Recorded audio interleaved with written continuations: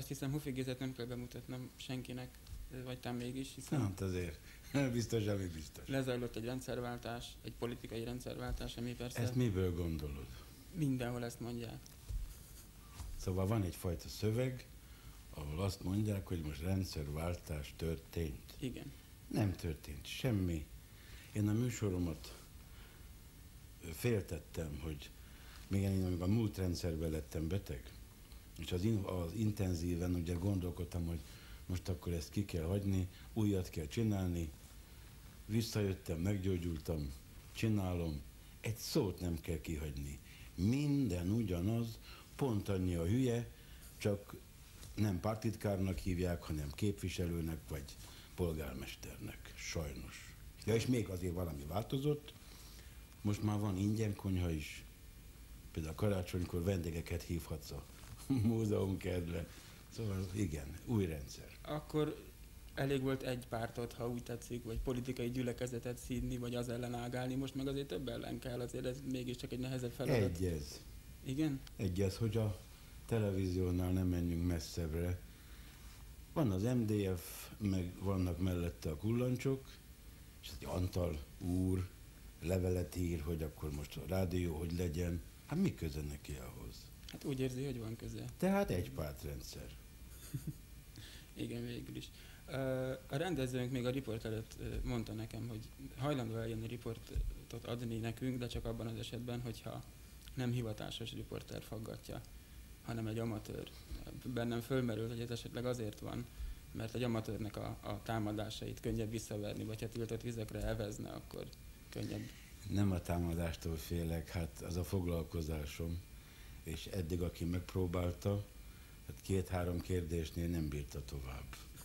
Hála jó Istennek, ez a műfajom. Nem azért, én a tulajdonképpen fondorlattal azért vállaltam ezt el, ezt a riportot, mert 35 évvel később mégiscsak bekerültem a főiskolára, akkor hiába próbálkoztam, és most, ja, nem akkor vagyok a tulajdonképpen a, főiskolán. Básti Lajoseknek köszönhetjük. Igen, a Básti az mindig felvett, a Simon Zsuzsa mindig kirúgott, úgyhogy szívembe is zártam. Igen, akkor végül is a Simon Zsuzsának köszönhetjük, hogy most itt üdvözölhetjük. Most bocsáss meg, visszatérve erre a amatőr és profi riporterek témára.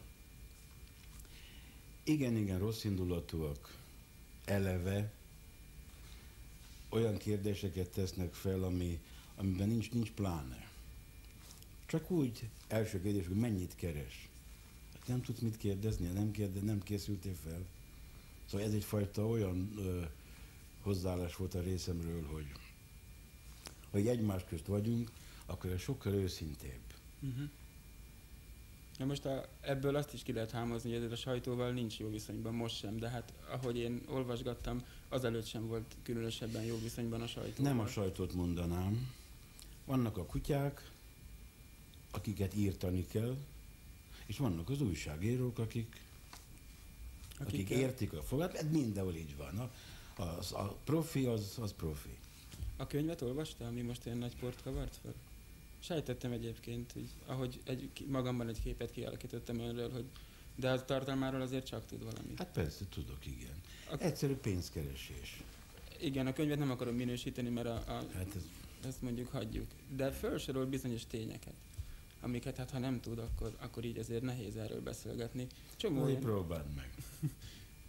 Én engem az érdekelne elsősorban, hogy ott olyan előnyöket említ, amik nem csak anyagiak, mert engem az, az a része nem érdekel, de ami az életvitelt megkönnyíti, vagy nehogy Isten, sokkal magasabb minőségűvá teszi. A vadásztársaságra gondolok konkrétan.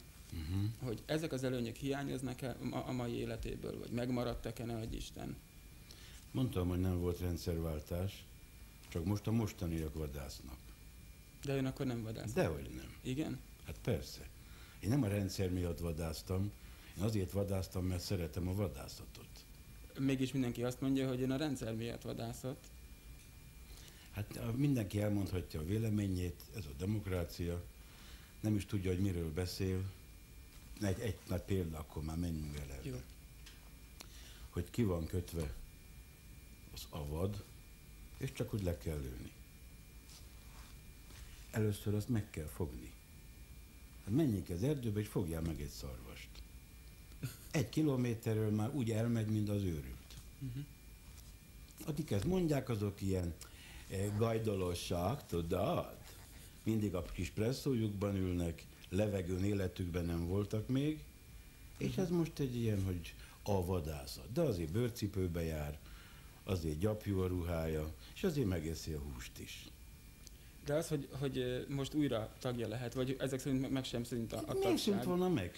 Ez jogi alapon Uh-huh. szerveződött dolog volt, ami nem rendszerre kötődött, Mhm. hanem szerződés van, mind ahogy minden vadásztársaságnak szerződése van, az illető eh, erdőgazdasággal, TS-szel, stb. bérlik a területet, 10 évre, 20 évre fizetik a bérleti díjat, fizetik a vadkárt, fizetik, fizetik a töltényt, fizetik a, és ez a szórakozásuk. Az, hogy ott ö, a könyv említi ezt a fajta kapcsolatot az akkori felsővezetéssel, arra a logikára indította a könyv íróját, és hát ezek alapján azokat is, akik ezt elolvasták, mert elfogadták, ami a könyvben le van írva, hogy ö, tulajdonképpen ez az egész politikai kabaré, ami, amit itt 20 éven keresztül ön, ön képviselt, és ha úgy tetszik, koronázatlan királya volt, ez, ez tulajdonképpen felsőbbső galatra. Vagyok. Bocsáss meg. Akkor helyesbitek, még mindig. Én már az. elvitettem. Akkor ez egy újabb kérdést vett föl, de az előzőre még visszatérek, hogy a, az utánpótlásról mi a véleménye, nézi egyáltalán a Nincs. nincs utánpótlás? Pinafasz együtt basz, ez a szintjük. Innentől fölül, fölfele nincs poén. Uh-huh. Na most azért, mert, mert nem szabad? Nekem engedték, és a többinek nem engedték volna? Föl Igen, sem merült, hogy érdekes. erre fele menjenek. Hát mert ebbe azért meló van. Hát azért azt ki kell találni, azért az összefüggéseket, azért csak simán viccet mesélni, az megy most is. De ezek szerint önnek engedték. Nem fölkérték, engedték? Mert a- a kettő... Annyit engedtek volna mindenkinek. Úgy érzi? Nem érzem, tudom. Uh-huh. Hát mégis az az, az általános vélemény, hogy, hogy tulajdonképpen, tulajdonképpen két-három éve nem nagyon lehet önről hallani, elterjedtek bizonyos plegykák, a többek közt az a betegsége. Utoljára mikor volt ez színházban? Hát én megmondom őszintén, hogy a madás környékén nem jártam az utóbbi Akkor időben. rossz a kérdés. 870. előadásnál tartok. Folyamatosan? Igen. Hát gondolom volt egy szünet, amikor beteg volt, és... Hát az most 8 hónapja, de Uh-huh. most már megint megy. Az mi oka azt a betegséget, ha nem indiszkrét a kérdés? Hát szívinfarktus. De közre játszottak ezek a bizonyos... Hát ezt nem lehet megállapítani. Összeesel és kész. Mhm. Miért estél össze? Mhm. Csengely Dénes miért halt meg? Ö, Meghalt, kész. Érezni lehetett egyébként? Vagy ön érezte, hogy, hogy a 88 táján, vagy 87, 86, 87 Hogy táján? majd jön az infarktus? Nem, hanem hogy itt lesz egy, egy komolyabb, ö, rend, maradjunk, nem volt rendszerváltás, én ragaszkodom hozzá. Volt. Kérlek szépen, neked még bemesélik, nekem már nem. Kérlek szépen, a következő a helyzet, hogy nekem nincs mit magyarázkodnom. Az első lemeztől kezdve a mostanig, mostanig elő kell venni, abban benne van a történelem onnantól idáig, úgy, ahogy az volt, nem hizelegve, nagyon keményen. Az volt, azt mondtam, azt vállalom most is, és én most se változtam meg. Molnár Péter ezt írta, hogy íme. A gerinc az gerinc. És íme szeptemberig már nincsen jegy. Ez azt jelenti, hogy a népszerűséget változatlan továbbra is. Hát persze. Ö, mégis én nagyon sok felé azt hallottam emberektől, Igen. akik ezt a könyvet elolvasták, mert azért elég romboló hatása volt az ön népszerűség, népszerűségére nézve, hogy azért ez megcsappant. Ezek szerint ön ezt nem is érezte, hogy Hát ne megcsappant. bolondozzál már. Hát napi 60-70 pótszék van. Uh-huh. Hát általában a színházakban annyi az összes néző. Baráti köre az kicserélődött Részben. részben, és ez annak tudható be? Nem. Nem? Most már nem tudnak tőlem pénzt kapni. Aha. Ö, Tudod, hó végén összeadják a bevételt, és akkor jaj, de szeretlek.